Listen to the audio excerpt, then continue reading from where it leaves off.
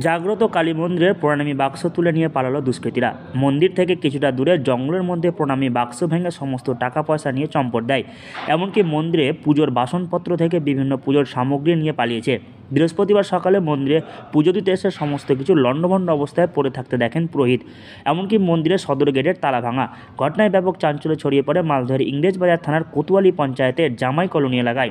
স্থানীয়রা খবর দেয় ইংরেজবাজার থানায় ঘটনাস্থলে ছুটে আসে পুলিশ।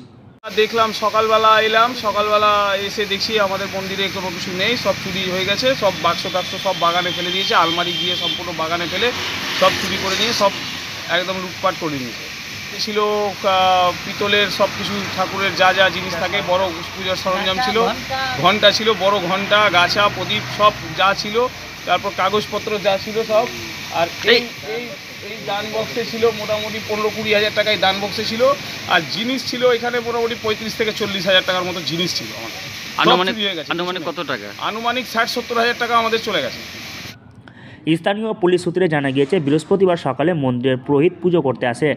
তিনিই প্রথম দেখেন কালী মন্দিরের মেন গেটে তালা ভাঙা। মন্দিরে প্রবেশ করে দেখেন মন্দিরের বাসনপত্র উধাও। মন্দিরের পাশে জঙ্গলে পড়ে রয়েছে প্রণামী বাক্স।